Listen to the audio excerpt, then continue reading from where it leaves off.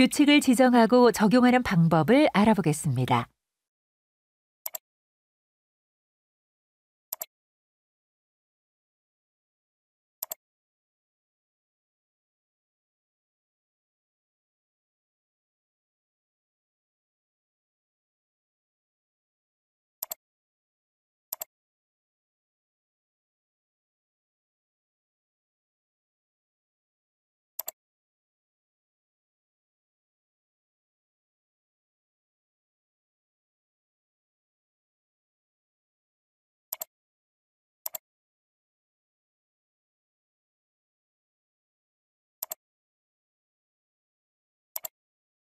예시로 다음의 규칙들을 추가하도록 합니다.